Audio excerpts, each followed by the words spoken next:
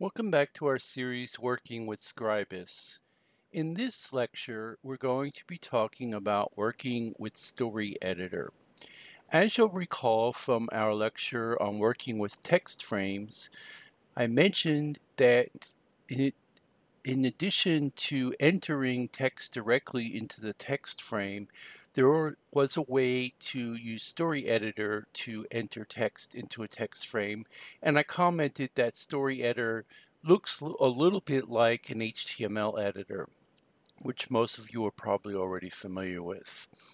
The thing about Story Editor is that its function is limited. It's mainly working to show you text you will see things such as justification, color of the font, underline, superscript, subscript, and strike through. But although the story editor allows you to make changes to other features such as font face, font size, kerning, line spacing, all caps, small caps, outline, and shadow, it will not let it will not display those changes in the story editor window. To see those changes, you have to exit the story editor window and then they'll be displayed in the text frame window. To start story editor, we first need to insert a text frame. So let's put one in our in our document and then there are four ways that we can open up Story Editor. The first is to go to the toolbar and click on Edit Text and the Story Editor will open. Or we can go to Edit, Edit Text, and the same window opens. Or as you saw here, we could click on Control T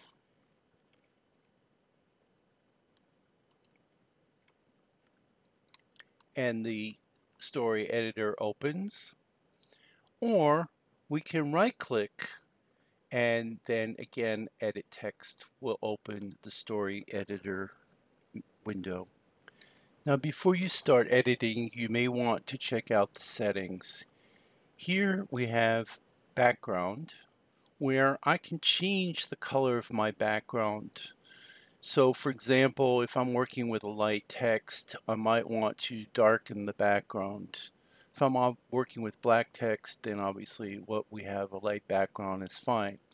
I, but the important point to note here is that this only changes the display in Story Editor. It doesn't change your document, so it's only for purposes of entering text.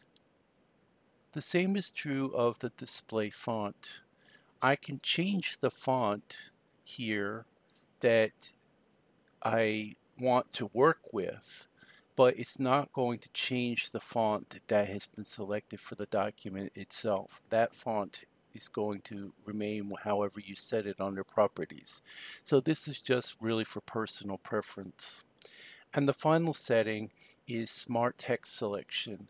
And what this is, if it's turned on, then that means that it will only, when you highlight a word, say you want to copy or move a word or cut a word, the, uh, let's put in a sentence.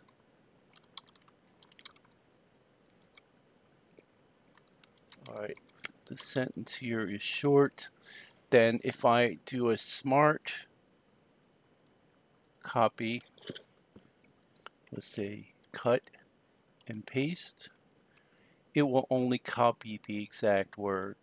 If this is turned off, then it'll copy the word and the space following it. So again, it's just a personal thing for to help with your editing. Now in most cases, once the story editor window opens, you're just going to want to start typing text. But you can set some things here. You can set the font, the font size, um, and all, all, these other features. But as I said at the beginning of the lecture, take note that not everything is going to be displayed here. For example, if I highlight this text and change the font, you'll notice that the font, let's pick something radically different, the font here does not change in the story editor and it won't be displayed in your document until you exit story editor. The other thing is if you do change the font then everything or the size or any of the other characteristics everything it that'll only apply to text that that you enter after you make the setting. If you want to change the existing text then you have to go back and you have to highlight that text and then change the features that you want to alter. Alright, so um,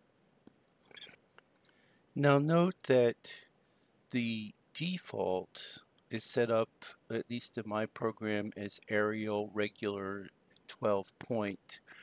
Now, if I want to change the default when Story Editor opens, I have to leave Story Editor and go to File, Preferences, Tools, and then here I can change the default for the Story Editor open window.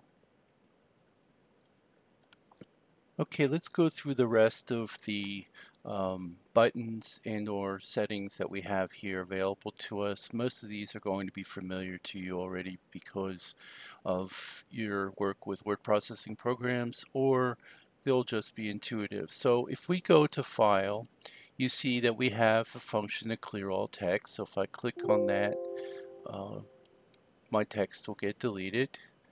The other thing that I can do is I can put in some text here. And if I want when I'm all done I can save it to a file or I can do the opposite. I can load text from a file. I can also save the document from here and I can update the text frame here and exit or I can exit from story editor without updating the text frame. Under the edit tool, we can select all of the text. We can do the typical copy, cut, copy, paste, and clear. We can do a search and replace.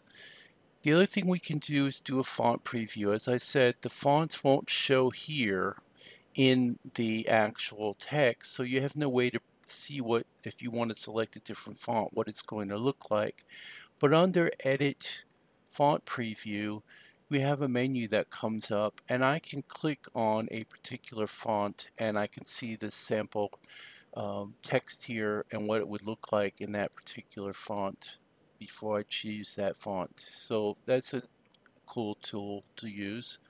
Um, the other thing that we have under edit is the update text frame. Again, it would be to, to refresh the text frame with what is currently displayed in the storyboard and you see when I clicked on that my text frame got updated. And then the last thing is we have a spell checker. Alright under insert we can insert various things such as here a character and we can then have all these specialized tools. Um, so it's kind of like some uh, symbols that aren't on the keyboard um, we can also work with different types of quotation marks.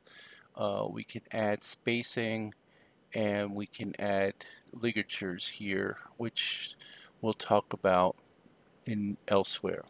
All right, uh, and then settings we have already discussed. Some of these buttons here, just repeat the functionality I've already talked about.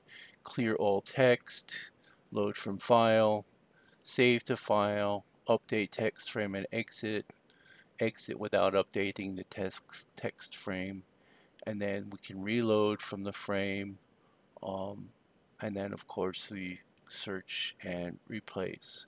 So that's about all that needs to go through in this particular window.